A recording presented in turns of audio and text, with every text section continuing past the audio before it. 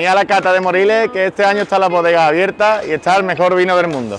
Porque este año va a ser una oportunidad única para conocer las diferentes bodegas donde se elaboran los vinos de Moriles y para probarlos a pie de bota. A la cata hay que venir porque esto es una cosa muy bonita y el pueblo de Moriles el que no venga a Moriles no sabe lo que se pierde. Nuestra tierra es calificada como la Toscana española y tenéis que animaros a probar nuestros Os vinos. animo a que vengáis a Moriles, a que disfrutéis la cata y a que disfrutéis de nuestros vinos.